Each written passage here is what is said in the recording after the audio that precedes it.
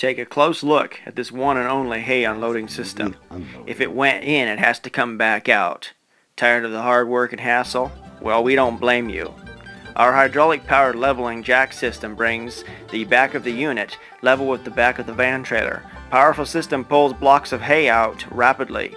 Rethread channel option in the center of our one-of-a-kind unloading trailer allows multiple blocks to be pulled out onto the same load.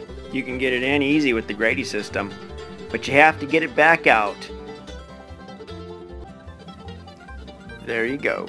That's easy. Just pull it back out.